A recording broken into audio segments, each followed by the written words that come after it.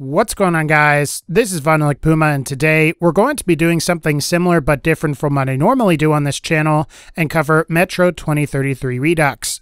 And in this video, I'll be going over 8 of what I think are some of the best guns and weapons in that game. Now, a few things before we start. This video is going to focus primarily on guns. After all, I think grenades and throwing knives are pretty self-explanatory, and there's not much to really talk about with these, since you can usually carry them regardless of what guns you use. Also, I should probably mention that a lot of the choices and placement of entries on this list will be dictated by my own personal preference, and you may find that certain weapons work better or worse based on your own playstyle. With that in mind, you should experiment and try different guns, though I think you'll find many of the weapons I'm discussing here tend to be quite good if you're looking for some recommendations. Otherwise, and I guess without further ado, these are what I think are the top 8 best guns in Metro 2033 Redux, starting now. Number 8. The Revolver. While I'm not the biggest fan of the revolver and I tend to discard it fairly quickly, the revolver does have a number of advantages that are worth talking about. First, and because it's the only pistol in Metro 2033, it has the advantage of being the only weapon in the game to use magnum ammo, meaning that its ammo type is totally exclusive and you won't have to worry about ammo crossover like you might on weapons like the VSV and Kalash, or the Shambler and Duplet. The revolver is also decently powerful and can equip a number of different upgrades as well, you can get versions with silencers, extended barrels, a stock, and of course, you can get various scopes and sights on this thing if you want as well. So you may find you can get a surprising amount of use out of the revolver. The main reason I tend to forgo this thing though is because I find it difficult to use. Not only is the fire rate kinda low due to how it's a revolver, but the magazine size is also low, meaning you really have to make your shots count and there can be a high penalty for missing targets. Also, I typically tend to use a rifle, shotgun, and then some other type of weapon like a Tikhar or Hellbreath by late game, and because of that, I usually let the revolver go by the wayside. Ultimately, I'm pretty sure most of you know how to get this thing already because it's basically the first gun in the game you get. You may find you want to keep that version and upgrade it, or you can look around throughout the levels and pick up a modded revolver and then upgrade that. Either way, definitely try out the revolver and see what you think, and if you don't like it, just drop it in favor of some other weapons. Number 7. The Kalash Rifle. When it comes to your early game options for an assault rifle, the regular Kalash I think makes the most sense. Because it's so common amongst enemies, you can save your money by simply picking up upgraded versions you come across as opposed to purchasing all of the upgrades like you would have to for the VSV. Plus, the Kalash also has an advantage over the family-friendly gun that you start off with in that it doesn't overheat, and you also don't have to spend hard-earned military-grade rounds on upgrades that reduce or fix the overheating issue. You're also getting a decent amount of attachments and upgrades for the Kalash too, with the ability to equip suppressors, various scopes, a laser sight, and an extended mag, which brings the ammo capacity to 45. So you should be able to get a decent amount of variety out of this thing should you choose to actually upgrade it. The only downside to this thing, I would say, is that the Kalash 2012, which we'll go over later on, is just better. Granted, it's obtainable much later on in the game, but I really view the Kalash as more of a stepping stone until you can get the K2012, rather than as 2033 Redux's premier rifle. So you may find you're better off not upgrading the Kalash at all and then saving your money to upgrade a K2012. Otherwise, the Kalash is a great rifle, and as soon as you can get your hands on or swap out for one, I would highly recommend it. They're pretty common, so they should be pretty easy to find. Just check the loot of enemies until you find one. Number 6. The Shambler Shotgun. In my humble opinion, and aside from a certain shotgun I'll be discussing later on, I think the Shambler or Ubojnik is probably one of the more practical shotguns on offer. Compared to the big gun, it can be equipped with more attachments like silencers, extended barrels, as well as various sights and scopes. And compared to something like the Duplet, which is actually probably a little stronger as you can fire multiple shells at once, you'll find that you'll be reloading a bit less while also being able to conserve shotgun ammo a little bit better.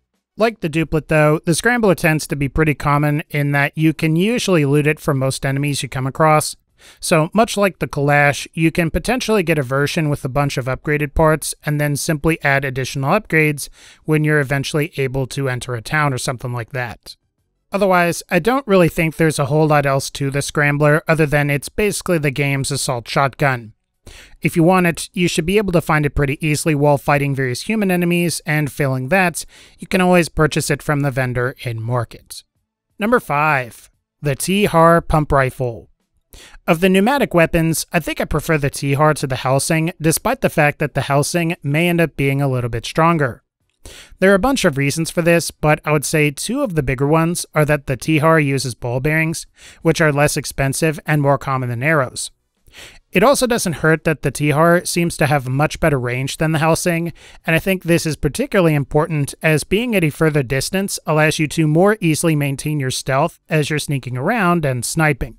Damage wise, I'd say the Tikhar is pretty good as long as you're scoring headshots against most enemies, with humans not wearing helmets being especially vulnerable to a well placed headshot. That, and given the Tikhar is pretty much quiet from the get go and doesn't require a silencer to be attached to it, I'd have to say it makes more sense to get this rather than equipping one of your rifles, shotguns, or the revolver with a silencer. Just be sure not to overpressurize the Tikhar as that can potentially break your stealth. If you want one of these, you can potentially loot them during the Lost Tunnels and Frontline missions. You may also find them at vendors as well, so be sure to keep an eye out for them if you're having issues getting your hands on one. Number 4. The Flamethrower. So, the Flamethrower is a weapon that is obtained during the Dark Star mission towards the end of the game. As you might expect, the flamethrower is pretty powerful. In addition to that, it can hold a maximum of 200 rounds or units of fuel. However, it requires the player to monitor a pressure gauge, sort of like you have to with either the Tikhar or the Helsing. Provided you're above the white tick on the gauge, the flamethrower should perform at its best, and provided it goes into the red, the weapon will become far less effective and require a repump to return to maximum effectiveness. In my experience, this thing is really effective against most mutants and definitely comes in handy while you're fighting off the various enemies during the Dark Star mission itself. Beyond that, though, you may find it's a good thing to have and use provided you're in a pinch and ran out of ammo for your other weapons, as it can prove to be quite effective in many of the other late game areas as well. If you ask me, the flamethrower is worth picking up once you get the opportunity to get it in the later missions so be sure to pick it up during Dark Star. Number 3. The Kalash 2012 Rifle. I don't think this entry is really any surprise to anyone, as the Kalash 2012, for all intents and purposes, is the single best AR in the game. It comes with a stock mag size of 40, which is higher than many of the other rifles. It's capable of dealing great damage, it's got high fire rates, and it can receive most of the more desirable upgrades that you can get on other rifles such as a silencer, as well as various scopes and a laser sight. The K2012 is really something to strive for if you're planning on using rifles because of these properties, and if you're going to spend money on upgrades, it makes the most sense to upgrade this when compared to something else like the base Kalash, VSV, or even the family-friendly gun. Because the K2012 is essentially the premier AR in this game, it's typically acquired later on, and you can buy one from the vendors at Polis. Number two, the Abzats Heavy Auto Shotgun. So, the Abzats is basically this game's heavy auto shotgun and features a number of advantages over other shotguns. Perhaps the most obvious of which is the fact that the Abzats has a very high magazine size for a shotgun, clocking in at almost 20 rounds when not upgraded, and 40 rounds when upgraded with the extended ammo box. Additionally, you can get an auto fire adapter for it that allows it to fire automatically, which can yield some pretty deadly results. Otherwise, there's an upgrade that adds a muzzle brake for improving recoil control, as well as a laser sight, which should be useful as you really can't aim down sights with the Abzats like you can on other shotguns. The downside to this thing is that it's obtainable later on in the game at the church, you could purchase it here from the vendor, and it should carry you really until the end of the game. In the end, I think this thing is pretty awesome, and it should be pretty powerful when dealing with most threats. Just be sure to not go too crazy with it, as you can run out of shotgun ammo fairly quickly, especially in Ranger mode. And finally, number one, the Hellbreath Rifle. So, the Hellbreath or Volt Driver is a fairly rare weapon in 2033 Redux that, much like the Tikhar, fires ball bearings at targets. However, unlike the Tikhar, which functions more as a stealth weapon that relies on air pressure, the Hellbreath is not a stealth weapon as its shots are quite loud and its shots are more electrical in nature. In fact, the weapon has to be charged in a way that's similar to the flashlight, though unfortunately the Hellbreath's power source and battery are independent from the rest of your gear, meaning that you don't have to worry should the battery on your flashlight go out. In a lot of ways, and despite the more obvious differences, the Hellbreath is sort of like a more powerful version of the Tikhar. While it sucks you lose the Tikhar's stealth capabilities, I think the damage the Hellbreath is capable of more than makes up for it. Plus, you're still getting the Tikhar's very inexpensive ball bearing ammo, which is very convenient.